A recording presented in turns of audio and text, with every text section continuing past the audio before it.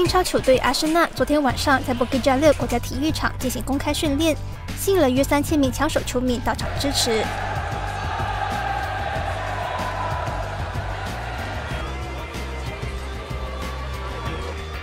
虽然只是一场约两个小时的训练，不过出席的球迷们都显得异常激动热情，不断嘶声呐喊。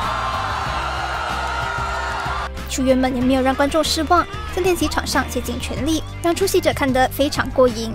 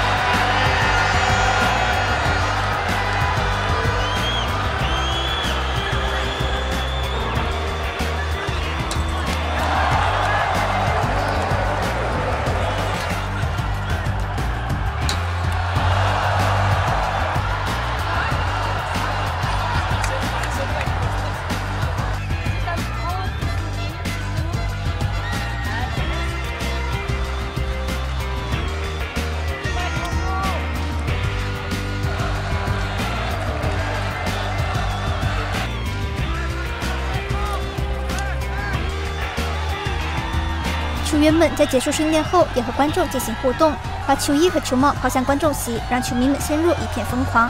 就连媒体也忍不住向前要求偶像合照。相信今天晚上阿森纳和大马挑选队进行的第一场季前热身赛，将会出现更加汹涌的人潮。新洲网也会到现场拍摄，为您带来更多精彩视频。